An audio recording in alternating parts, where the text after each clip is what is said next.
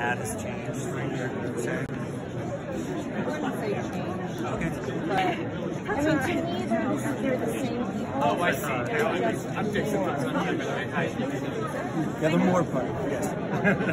Thank you so much. Thank Will you. you please say hi to Can I ask you a quick question, guys? Sorry. Say hi to Peru. Hi, Peru. Thank you so much. Yes. Thank you so much for speaking with me. I appreciate it. Hi. Um, so, as a writer, I just want to know did you have any challenges in terms of co-writing Eileen and, and like how, how did you come to terms with overcoming them and then what was the process like?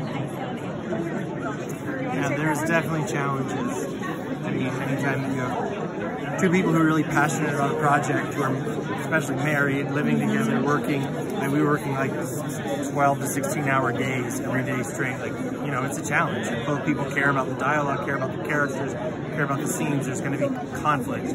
But um, that conflict is really useful, you know, for improving. Figure it out. What about for you? Yeah, I think that's true. I mean, I think the other challenge was um, presenting it as a movie that could get made, and we got really, really lucky finding people we collaborated with to make it. So that was, you know, I can't really say that we overcame that. We just But thank you so much. Appreciate it. Congrats. Thank you. Bye.